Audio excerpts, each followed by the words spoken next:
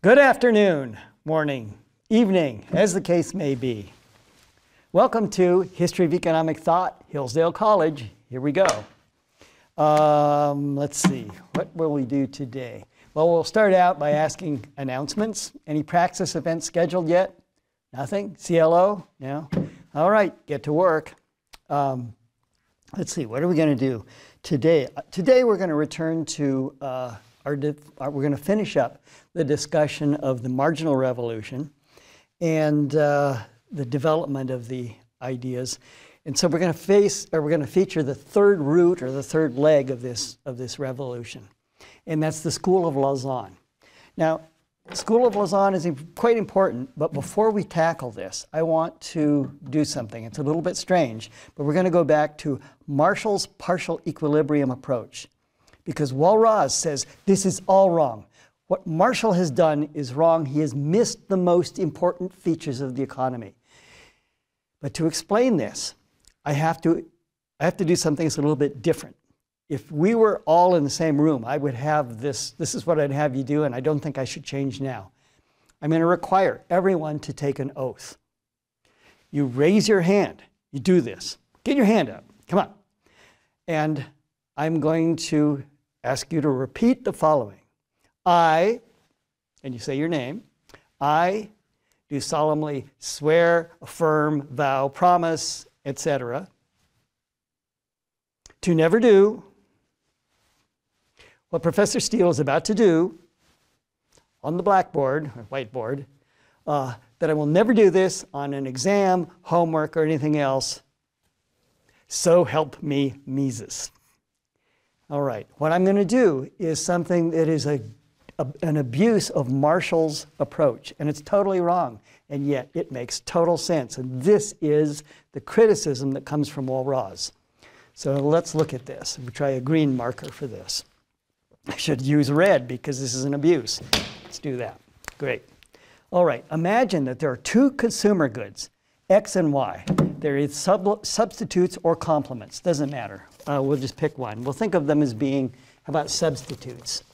So here's the market for good X. Let me get a better marker than that that shows up. Market for good X. Price of X. Quantity of X. And we'll go here, quantity of Y and price of Y. There's the market for good Y. And go demand for X supply of X, demand for Y, supply of Y, and we know where the equilibrium is. It's there, and now we just call it Q prime and P prime. And uh, over here, Q prime and P prime, whatever those happen to be, and they are substitutes for each other. That's how consumers treat them.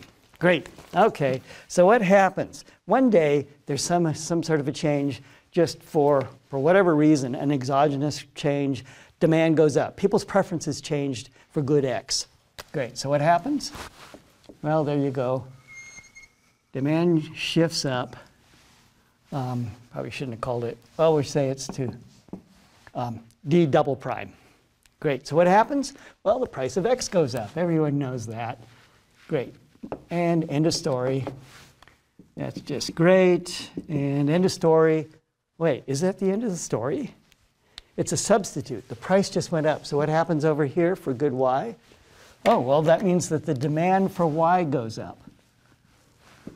Great. Demand for Y goes up to D double prime. Uh, because there was the in price increase here. Uh, and that means that the price of Y goes up. Okay, great, good. Now we are done. Um, well, wait a minute. The price of Y just went up, and it's a substitute for, oh, well, in that case, the price of a substitute, oh, this demand has to shift, shift up even more to D triple prime. That drives the price of this one up, but that means that the price over here, the demand must be going up to D triple prime, three, et cetera. Price must be, oh, wait. Okay, that's wrong. That's not the way to utilize these models But you all know that that's true. What I've just told you makes total sense. And this is Leon Walras' criticism of Marshall's ceteris paribus approach. You can't hold those things constant because that's not the way the economy works.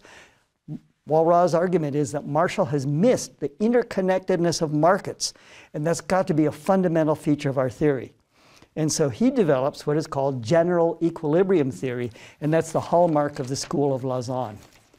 Um, great. So let's tell the story of Leon Walras. And this is a little bit more dense than some of the other material we've gone through.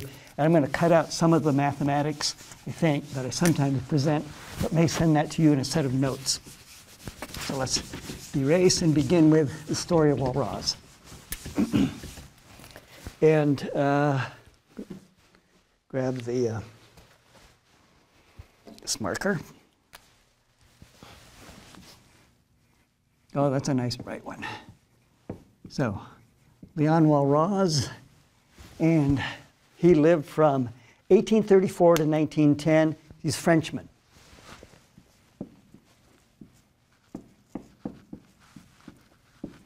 But he worked at the School of Lausanne in Switzerland.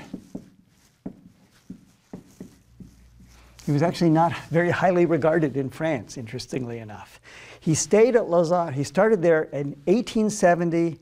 He was a professor there until 1892. He was not given very much regard in France. He was better known in Britain and Austria. Um, he was initially, he began as interested in art. As, as we know, his father, Antoine Walras, was a classmate of Cournot.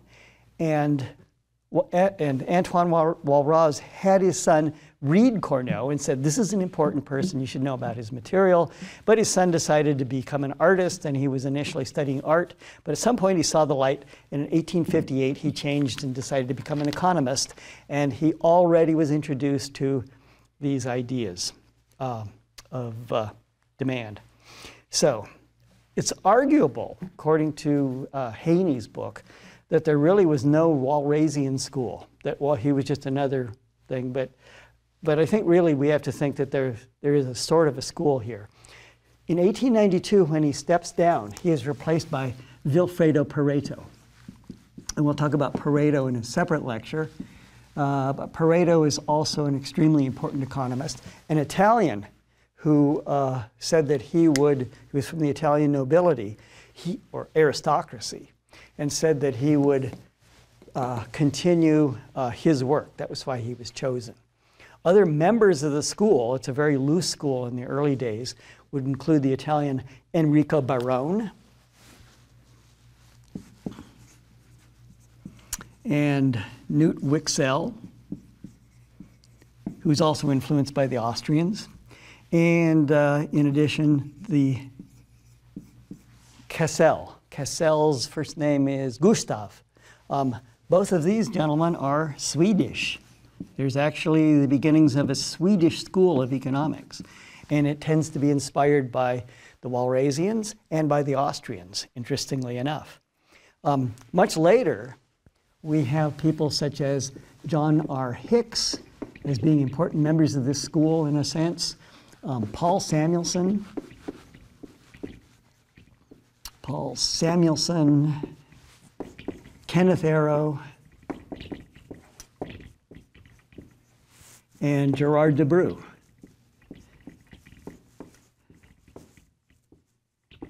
These three being Americans, and he is from Britain.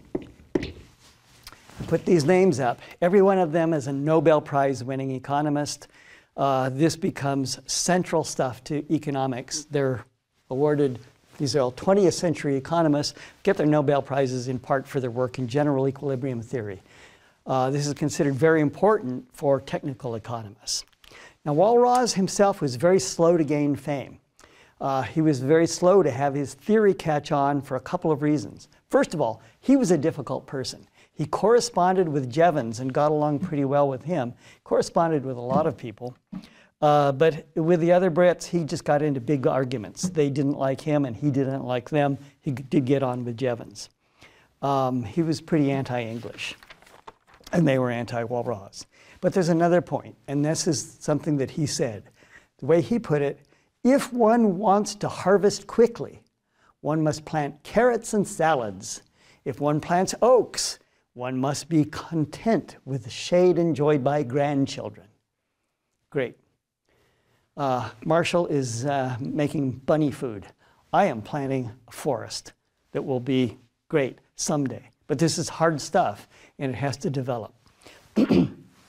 That's his idea. Well, his objective, like that of Carl Menger, is truth. He wants to talk about the connections in the economy. Marshall is simply trying to, with his partial equilibrium approach, develop something that's useful. But he wants truth. Great. Well, then, uh, so we'll proceed from there.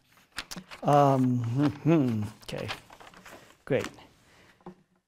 So, when Walras began, what I want to talk about is the ideas from Walras uh, first of all, I want to talk about his, um, um, his approach to mathematics, his, uh, then uh, his approach to marginal utility theory. Those will be brief, but then we will tackle general equilibrium theory and equilibration. And I've got to put more, we'll put more time into that. So, let's begin.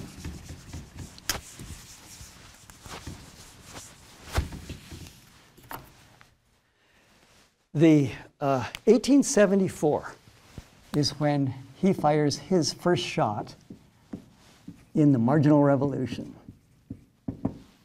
And that's with his, uh, econo- his uh, elements of pure political economy. I've got it in French. Éléments d'économie politique pure. Uh, but we'll write it in English. Elements of pure political economy. Great. Um, so he develops his ideas on mathematics, marginal, marginal utility theory, general equilibrium theory, and equilibration. And so, with respect to mathematics, he says economics has to be mathematical. And he re represents the economy as a series of equations. He says economics is about utility, but it's about prices and quantities, and therefore math is the proper way to treat it. The economy for him is a series of equations, as we will see. He was not mathematically very good. He was not very deep, and so his methods were not always right.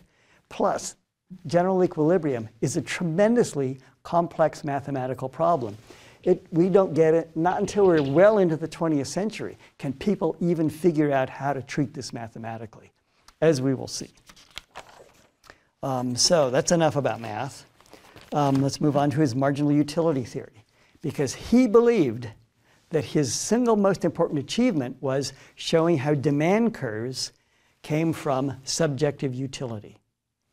It's very similar to what Jevons has done, very similar to what Menger has done, so we won't go into that carefully, but he called it rarité, and for him, marginal utility or rarité is the intensity of the last want satisfied. It is subjective marginal utility, and that's what generates the demand curve. That's underlying everything. So, like Menger and like Jevons, he doesn't believe this objective cost stuff that Marshall has talked about, but rather he promotes the whole idea of a subjective marginal utility explanation for prices. Um, but he also says that demand for a good act, for a particular good is, for any particular good, the demand is a function of all prices in the market. This is the way he is going to link his whole economy, his whole model of the economy, uh, through mathematics the demand for any good is a function of all the prices for all the goods. Uh, it does make a kind of sense because it's not just I see the price, I'm going to buy hamburger. I have to look at the price of hamburger, but I look at the price of hot dogs. I look at the price of hamburger buns, hot dog buns, uh, ketchup. Uh, should be influenced by the price of beer. If I have beer with whatever, um, uh, ammunition, if I'm thinking I could spend my money on food, but I could buy ammo, after all, it's a crisis, uh, or toilet paper, or save it for automobiles, or the price of everything ought to go into that demand function. Because every time we spend a dollar, think of all the other things we, we think of all the other things we could have spent it on. So the prices of everything ought to be in the demand function. That's his argument. And he then goes ahead and derives the usual marginal conditions to get equilibrium in a market. But he wants general equilibrium, that is, equilibrium in all markets at the same time. Great. That's Marshall, or sorry, that's Walras on, uh, on equilibrium, or sorry, on, on, uh, on utility. So let's then proceed to general equilibrium. And this is, I guess the question is, how much math do you want? Because we could put an awful lot down here. Uh, but we're going to start out with his general equilibrium theory and explain it, at least what the, what the notion of it is. Uh, general equilibrium and that's going to be abbreviated GE. It's a model of all markets. That is, of the entire economy.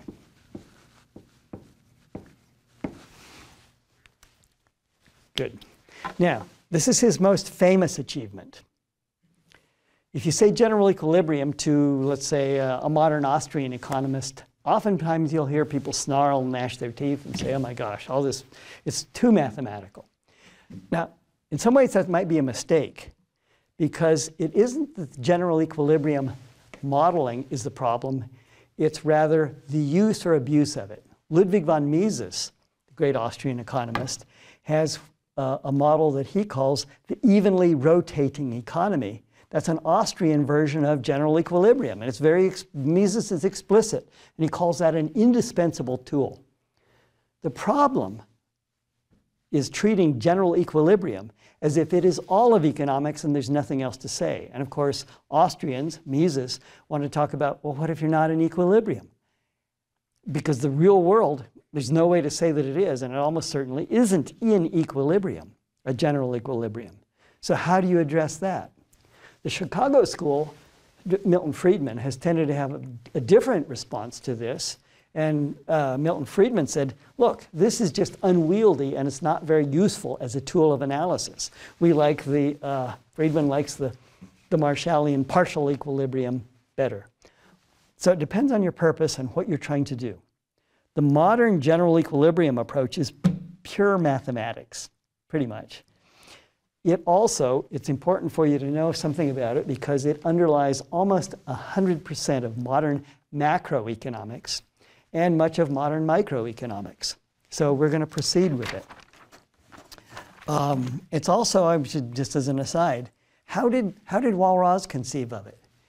One of his biographers, uh, William Jaffe, um, says that Walras, he doesn't believe Walras meant it to be a true description of the market economy, but rather as a what he called realistic utopia, or sort of an idea towards which we should, an ideal towards which we should strive. So maybe a target, maybe in some ways a little bit like what Austrians think that entrepreneurship does. But here's what we mean by general equilibrium. This is the setup, and this is a little complicated. I've got to write it down. So first of all, we assume the following things must hold, and that's utility maximization for every, everyone, every person in the economy. And so we've got for every good, we'll say that's person I, and we've got many different things, and there's the price, there's the, sorry, for good, um, we'll just call it good X, and the price of, oh heavens, and the price of x is equal to the marginal utility for person i over and marginal utility for good z for person i over the price of z, etc. And we can have as many goods in the economy as we wish. Okay, great. In fact, we're going to say that there are n products, where n is just some very big number. I think that the Soviets, I don't know what it is, uh, the Soviets said that they had, they thought they had 15 million different products in their economy. So it's a big number. Well, utility maximization means that everybody adjusts their purchases so that this equilibrium condition holds, so that that's true. Great. Well, what's the next thing? The next thing is firms maximize profit. Okay, all firms are doing that.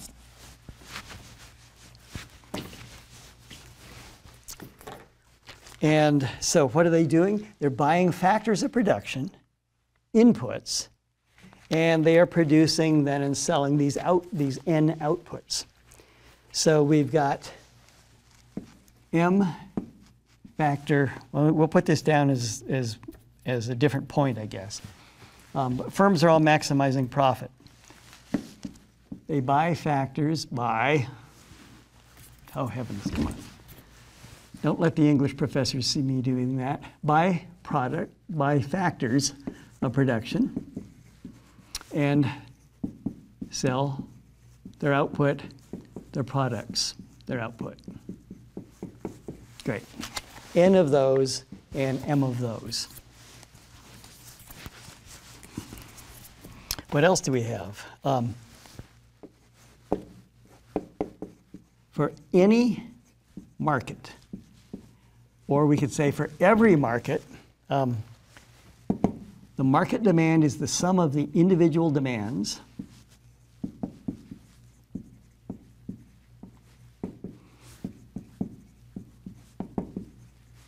Some of the individual demands, and the market supply is, not surprisingly, the sum of the individual firm supplies or the individual supplies of labor uh, if we're thinking of factors.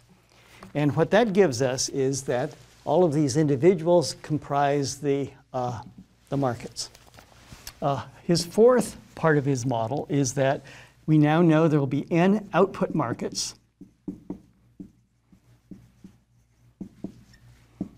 And m factor markets.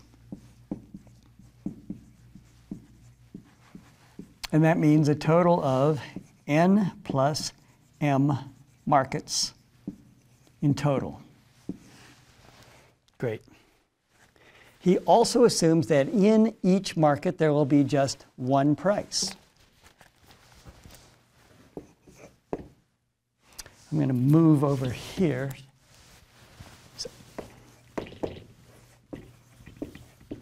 one price in each market. So we don't have, for example, price discrimination or people uncertain and paying different prices for goods. Um, we have one particular price. And the incomes um, in the factor markets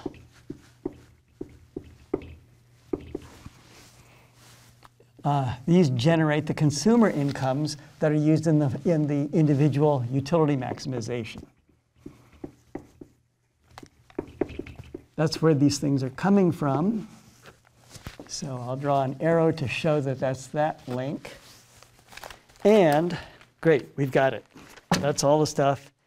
So what's general equilibrium? The price in every market is such that quantity demanded equals quantity supplied.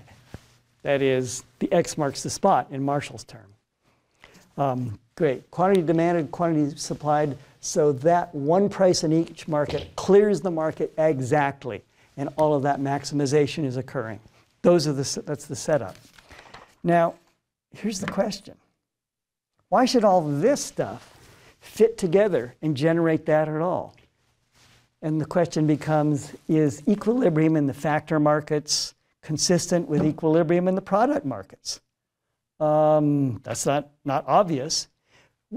Are individual utility maximization and firm profits, are those compatible with any of this? Does maximization actually lead to this? And there are three questions formally that come up here. And those three questions are first of all, existence. Does a general equilibrium even exist? Is it possible to have market clearing in all markets at the same time? So the first question is um, existence. Does a general equilibrium exist even in even just conceptually? Is it possible? And also, can there be a mechanism that will guarantee or that will get us to that? That's question number one.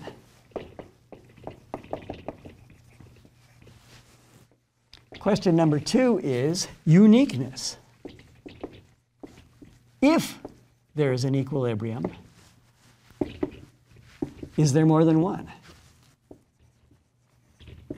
Are there different combinations of prices that would take us to a general equilibrium? Um, are there multiple equilibria? Is that question. Now that seems obscure, except it raises the question of if there are multiple equilibria, could there be such a thing as a good equilibrium and a bad equilibrium? That's actually pretty important. If, for example, you are an Austrian economist and you say entrepreneurship equilibrates, hmm, does it matter? Could, could you be going towards a good equilibrium or a bad equilibrium? Is there a distinction there? There's a paper that came out probably about 1990 by a couple of economists, Azariadis and Drazen, who argued that one reason third world countries don't develop is they get stuck on a bad equilibrium. Uh, interesting argument that they make, and so this is an issue. Uh, there's a third question that arises, and that's the question of stability. Um, if something happens to disrupt the equilibrium, will the economy return to it? I used to use uh, Katrina as my example, but here's a different example. We just shut down the economy, much of it in the United States. Uh, so that disrupted the equilibrium, if we were even close to one. And the question is, what do we return to? Will we go back to the same equilibrium, a different one, or, or what will happen? Okay, that's an important question. Uh, what about if we think about the Schumpeterian uh, entrepreneur who disrupts the equilibrium uh, with his innovation, uh, Joseph Schumpeter's idea? Um, does that lead to instability, or does do we return to equilibrium? Now, here's the relevance again. Mises, Kirzner, people like this say that entrepreneurship takes us toward toward equilibrium. We don't reach it because things are changing, but they say this is, this is what entrepreneurship does. Chicago School says when we talk about why the, uh, why the market system is good, we rely on the prop properties of general equilibrium, a competitive equilibrium, is how Chicago argues for benefits of the market. Um, Ludwig Lachmann, another, on, another Austrian, says that entrepreneurship actually does not take us towards equilibrium, and equilibrium is probably meaningless. So these are actually important questions for people outside of the uh, Walrasian school, and so we're going to continue and tackle those things.